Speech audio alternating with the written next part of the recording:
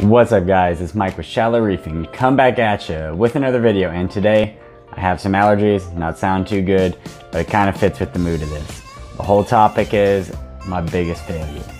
So, I had an issue with not only the QT tank, but the main display. I noticed it when I was cleaning glass. Now you guys know how insane my QT process is with the dipping process and everything. So I was just as surprised as you when I saw flatworms in my tank. In my 200 gallon tank and my 20 gallon tank. It's not good. This hobby, everyone likes to show their tank and all of its glory. No one ever talks about any of like the hardships, any of the pests, any of the problems. But I feel like that's all I do on my channel. So, big problem I only found one in the 20 gallon and I found one in the 200 gallon. And where there's one, there's more. So I used flatworm exit on it just to see if I could knock it out, and not have to make a video on it, not talk about it really.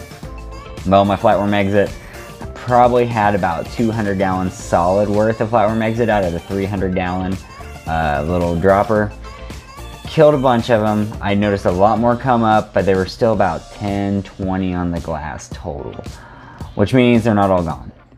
Now, you're asking, how does this happen? How did these flatworms get in there? Well, quarantine the corals, quarantine the fish, and the only thing I can think of are the inverts that went in, the snails. So you guys know, put snails in the tank. Now with the snails, I did do a dipping process. I didn't do a freshwater dip on the live aquarium ones that I put in. That could have been where some of the flatworms came from. I also got my LFS, which is where these guys had the flatworms. I know there were flatworms there. I got the snails from the LFS. When this tank was upstairs, I quarantined the, the, um, the snails up there. And I did do a freshwater dip on them real quick quarantined them, checked them over, ripped off a vermetid here and there. I don't know.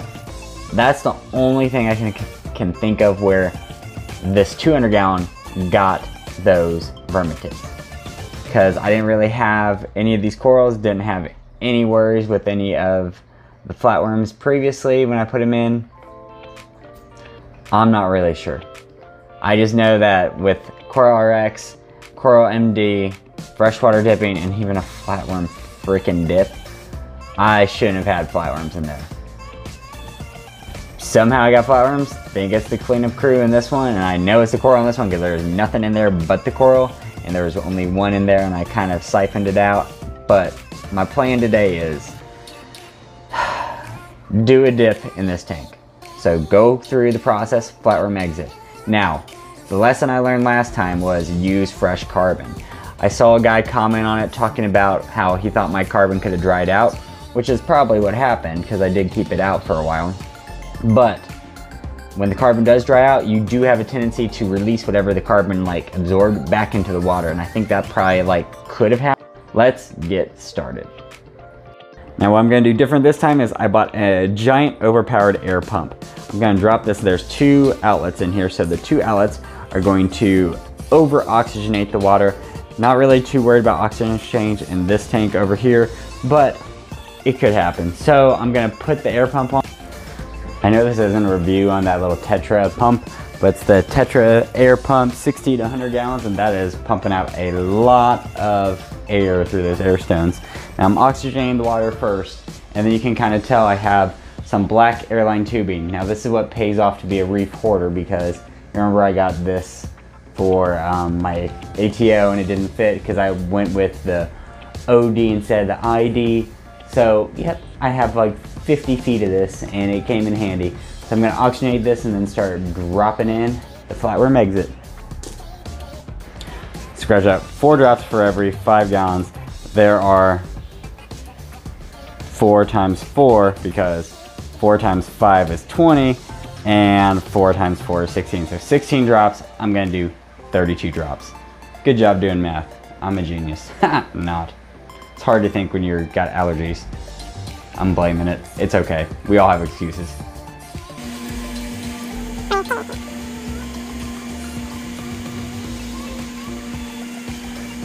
Alright, so that's enough for 40 gallons. I doubled it up just because I want to make sure I get all of it. Not too worried about anything in the tank dying from ammonia, but make sure I got to get it. Now the thing with these flatworms that I noticed in, these in this tank is it's the very minimally invasive flatworm. Some people call them ghost flatworms. Some people say, oh, it's Casper the friendly flatworm. They're like those pale translucent ones. Now, can't find any of them in here right now, but if I do see some start popping up or falling off, I will start videoing it. And then hopefully get this done and then do the 200 gallon tomorrow. One of the things I probably could have done better with my quarantine process would be to rip every single one of those LPS corals off those frag plugs because that would be the only way that these flatworms could get in is if they were underneath the frag where the coral meets the frag disc. That's the only way I can think that they could get in because I went to town on this. Okay, so it's been about six-ish hours, maybe six and some change of the treatment. I can't really find any of the flatworms. I really don't want to run this overnight. It says give it a sufficient time, um, monitor it for six hours, so I'm guessing about six hours would be good. My plan is to do a big water change on this, siphon it out, and drain some water from my main display tank, which is looking really good despite having a handful of flatworms, into here. Yes, I know there are flatworms in here, but I'm gonna probably siphon it from like the top and take this much out. That way no flatworms that are mostly found on the bottom are gonna get in. That's the plan. Maybe it's stupid. I don't know. Let me know in the comments below. Also, like, comment, subscribe because my videos are not getting pushed out. So I don't know why that is. Give me more likes. Maybe that'll happen. But time to do my water change. I really wish every water change was that easy because moving it from the main display down here took no time at all. That's pretty much what I'm gonna be doing tonight. I'm gonna wait till the morning and then put flatworm exit in and monitor it throughout the entire day and do a water change at night. Um, yeah, but now I gotta make up more water because all my jugs are gone. It is now 7 a.m. the next day and I'm about to dose the big tank. I don't know if you can see this. Uh, right there on the glass. That is one flatworm. It's hard to tell on the rocks, but there's a flatworm right there. Time to dose this entire bottle that should be about 260 gallons worth in this 200 gallon tank. As the kids would say, YOLO. Alright, so if you can tell, that little guy right there is a flatworm. And there might be one or two in here.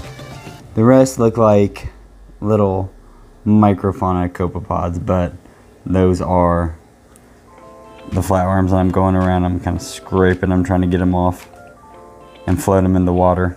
Hopefully they'll, you know, die. Maybe they're just hanging on by a thread, but just going around where all the flatworms could be.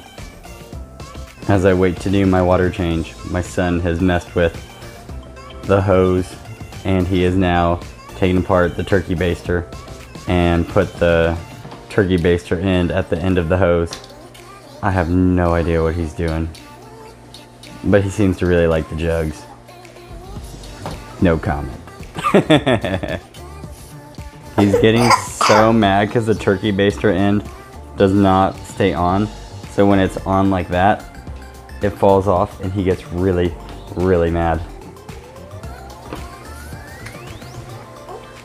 Give it a second. Here we go. Yep. Sometimes I feel like that Daniel just screaming. It's okay. You'll get it on there eventually. Alright guys, it has now been 24 hours since I did a water change. I, I had uh, the flatworm exit in the tank for about mm, 10 to 11 hours. And then I did a water change last night, filled it up, and now I'm just inspecting it for flatworms. And I don't really see any flatworms anywhere on the sand bed, on the glass. Yes, I do need to clean the back, but overall, I'm not really noticing any flatworms. Now, I'm not naive enough to believe that I have 100% gotten all the flatworms out with flatworm exit. Most likely, I've beaten them back to almost nothing. Not really sure. I'm gonna bet, if I was a betting man, I'd say there might be a handful left. Just because I'm skeptical. Now, what I'm going to do to combat this in the future and make sure that I stay flatworm negative, where I'm not gonna have flatworms or not even have a hint of a flatworm showing up, is that I've done some research. I'm thinking a yellow coris wrasse is in my future. Now I don't have any wrasses in the tank. I've looked up uh, different types of dragonets and they said this spotted dragonet will definitely eat flatworms. Now, I do have a green mandarin uh, in QT that's gonna come out. Hopefully if I can ever get this thing to eat frozen food, geez. But um, that's gonna be coming into the tank in the next two-ish weeks and then I'm gonna go and talk to the LFS, say, hey, order me a yellow coris wrasse, put that in quarantine, and get him in the tank in a month after quarantining. So, my long-term plan is to put my Mandarin in, get a yellow coris wrasse in, and then probably around that BRS Black Friday sale, I've seen, um, there's like those KZ products with the coral booster and the flatworm stop. Um, those are mostly for acro eating flatworms, but they do have um, really good benefits to the coral in your tank. So what I'm thinking is I will get that and then I will, uh, you know, boost my coral's health. And then if it does happen to, you know, have some additional side effects of knocking these flatworms back anymore, if they're still in here, then that would just be great for me. So, Gotta air out the dirty laundry, gotta show my failures. Even after all my quarantine, I still had flatworms.